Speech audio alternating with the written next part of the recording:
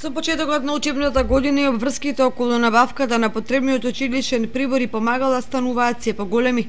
Учениците се вратија во училишните клупи, започна наставата, а во книжарниците се уште трае еуфоријата на родителите за набавка на училишните помагала. Во книжарниците гужвите ги нема, а се купуваат најосновните помагала, тетратки и моливи.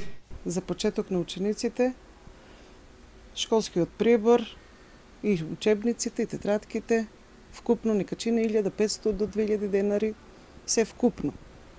Тука ќе ставиме и ташната, дрвени бојци, фалмастери, мрсни бојци, тафет папир, блок за скицирање, блок за цртање, моливче, пенкалце, гума, острелка, водени бојци, тоа.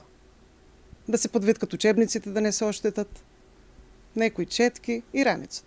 За нив малку ќе биде поскромно, затоа што тие претежно само тетратките ги зимаат, големиот и малиот формат, некои темперни, за нив ајде да речеме дека поскромно, 1000 денари.